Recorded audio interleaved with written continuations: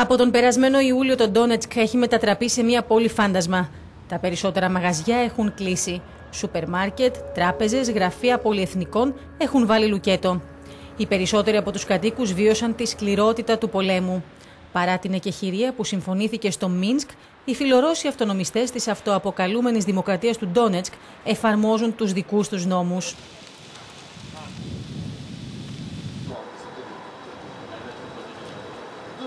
Τα ανθρακοριχεία και η βαριά βιομηχανία ήταν οι στυλοβάτε της οικονομίας στην περιοχή. Οι περισσότερες από τις εργοστασιακές εγκαταστάσεις έχουν καταστραφεί, με αποτέλεσμα τα ποσοστά ανεργίας των κατοίκων του Ντόνετσκ να έχουν εκτιναχθεί. Το Τρούντιβσκ είναι ένα προάστιο του Ντόνετσκ. Τα ορυχεία έχουν κλείσει από τον περασμένο Ιούλιο. Οι εγκαταστάσεις τους βρίσκονταν μόλις ένα χιλιόμετρο από το πεδίο μάχης. Ο Σεργέη Μάλτσεβ, διευθυντής του εργοστασίου, αποφάσισε να σταματήσει την παραγωγή. Στις 2 Αυγούστου ξεκίνησαν οι βομβαρδισμοί και από εκείνη την ημέρα έγιναν καθημερινοί. Γι' αυτό και οι εργαζόμενοι δεν μπορούσαν να έρθουν στη δουλειά. Υπήρχαν φόβοι για τη ζωή τους. Κάποιοι, αψηφώντας τον κίνδυνο, ερχόντουσαν μέχρι τις 15 Σεπτεμβρίου. Ω διευθυντής όμως δεν μπορούσα να τους ζητήσω να μπουν μέσα στα ορυχεία, γιατί με έναν βομβαρδισμό θα εγκλωβιζόντουσαν και δεν θα μπορούσαμε με τίποτα να τους σώσουμε. Περίπου 200 μεταλλορύχοι από τους συνολικά 1580 εξακολουθούν να εργάζονται. Δουλειά τους τώρα είναι να επισκευάζουν τις ζημιές από τους βομβαρδισμούς. Ο Γκρέγκορι Κάλουγκιν είναι ένας από αυτούς. Μετά τη βαρδιά του, ο Γκρέγκορι πηγαίνει συνήθως στο σπίτι. Οι άνθρωποι που δεν εγκατέλειψαν την πόλη τους τους προηγούμενους μήνες είναι σε απόγνωση. Οι άνδρες της αστυνομίας του Ντόνετσκ προειδοποιούν τους πολίτες πότε πρόκειται να ακολουθήσει βομβαρδισμός. Γνωρίζουν ότι είναι δίπλα στο πεδίο μάχης. Я вижу себя намного в другом. Βλέπω διαφορετικά την κατάσταση. Δεν έχει να κάνει με τη Ρωσία και την Ουκρανία. Αυτή είναι μια άλλη χώρα και πρέπει να έχει ομαλές σχέσεις και με τις δύο χώρες. Α δημιουργηθεί μια νεκρή ζώνη.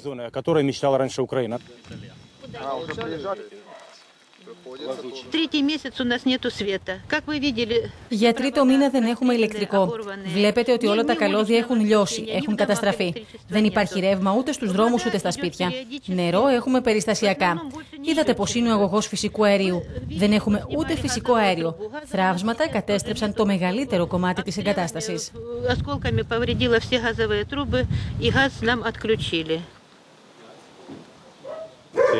Δουλεύουμε, αλλά δεν ξέρουμε αν θα πληρωθούμε. Δεν ξέρουμε καν εάν θα πάρουμε κάτι συμβολικό.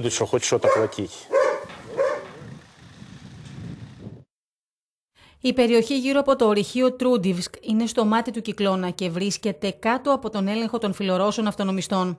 Οι άντρες της αυτοαποκαλούμενους Δημοκρατίας του Ντόνετσκ έχουν εγκατασταθεί στην περιοχή. Από αυτό το σημείο ανταλλάσσουν πυρά με τους Ουκρανούς στρατιώτες που έχουν εγκατασταθεί στην πόλη Μαρίνκα. Με το που φτάσαμε στην Μαρίνκα και αφού διασχίσαμε το πεδίο βολής, γίναμε μάρτυρες της ανταλλαγής πυρών από βαριά αυτόματα όπλα. Ήταν πραγματικά συγκλονιστικό. Εδώ στη Μαρίνκα, αφού διασχίσει κανείς το πεδίο μάχης μέσα από τα σημεία ελέγχου των φιλορώσων αυτονομιστών, η ανταλλαγή πυρών είναι συνεχής και έχει εξαντλήσει τις αντοχές των πολιτών.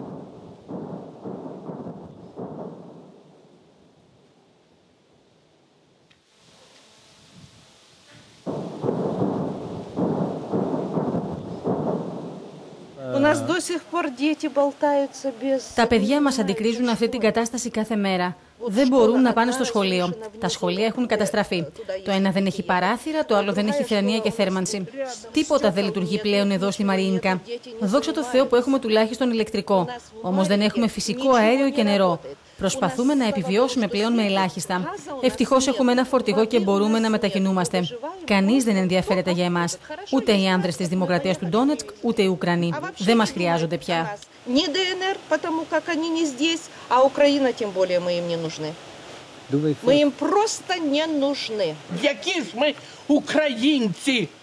Εμεί είμαστε Ουκρανοί. Εγώ μιλάω Ουκρανικά πολύ καλά, μιλάω όμω και ρωσικά όπω βλέπετε. Αυτό διδάχθηκα από το Γιώση Βυσαριόνοβιτ Στάλιν. Και τώρα ζούμε αυτή την κατάρα. Στάλιν.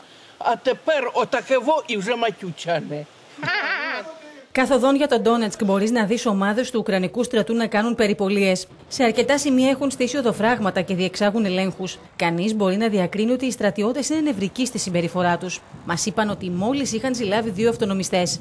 Λίγο αργότερα μας είπαν ότι θρυνούν το θάνατο δύο ακόμη στρατιωτών που σκοτώθηκαν το περασμένο βράδυ. Θα αντιδράσω ως μέλος του Ουκρανικού στρατού, ως πατέρας, γιος, σύζυγος και διοικητής του στρατού. Με όσα γίνονται, απλά κάνουμε τους πλούσιους πλουσιότερους. Για να γίνει αυτό, δεν αξίζει το τίμημα που πληρώνουμε. Από τον Ντόνετσκ μεταφερόμαστε στο Λοβάινσκ και εν συνεχεία στη Μαριούπολη. Στο Λοβάινσκ σημειώθηκε η φρικιαστική γενοκτονία εκατοντάδων Ουκρανών στρατιωτών τον περασμένο Αύγουστο. Εκεί ήταν το σημείο κλειδί της διένεξης, όταν οι δυνάμεις του Κιέβου, κάτω από την πίεση των φιλορωσικών δυνάμεων, αναγκάστηκαν σε υποχώρηση. Σύμφωνα με τους Ουκρανούς, 900 άνδρες του στρατού σκοτώθηκαν, ενώ σύμφωνα με τους φιλορώσους αυτονομιστές ο αριθμός ανήλθε στους 3.000. Το ΝΑΤΟ και το Κίεβο κατήγγυλαν την ευθεία συμμετοχή Ρώσων στρατιωτών. Η Μέτιν Βέστ είναι το μεγαλύτερο εργοστάσιο ατσαλιού στην περιοχή. Ανήκει στο Ντόνετσκ, αλλά ελέγχεται από την Ουκρανία. Οι πολίτες φοβούνται ότι ακόμη δεν έχουν δει τα χειρότερα. Συνομιλήσαμε με δύο φίλους, τον Βλαντιμίρ και τον Εύγενη, οι οποίοι καταθέτουν τις διαφορετικές τους απόψεις. Εγώ και ο φίλος μου διαφωνούμε. Υποστηρίζω την Ουκρανία ενώ εκείνο τη Ρωσία. Διαφωνούμε πλήρως, όμως είμαστε φίλοι. Μιλάμε και υπάρχει αμοιβαία κατανόηση. Είμαι αντίθετος θέμα το κύλισμα. Δεν υποστηρίζω σε καμία περίπτωση τη Ρωσία.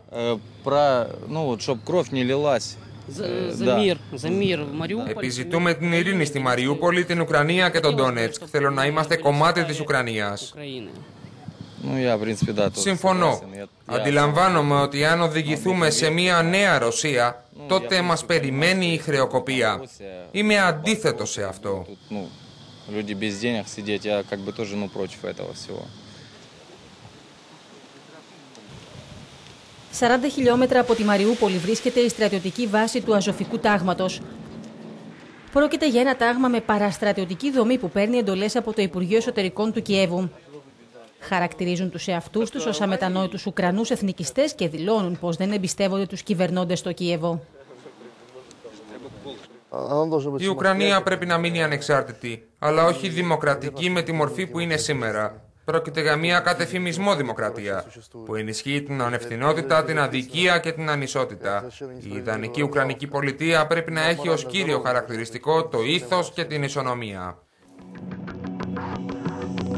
Οι περισσότεροι από τους ανθρώπους που συναντήσαμε έχουν την αίσθηση ότι κανείς δεν καταλαβαίνει το δράμα που ζουν. Η πλειοψηφία πάντως επιθυμεί μια ειρηνική επίλυση το συντομότερο δυνατόν.